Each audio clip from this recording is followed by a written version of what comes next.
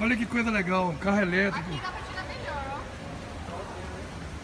Nossa, que legal, ó. Olha aí, ó, o pessoal recarregando a bateria para não poluir o meio ambiente.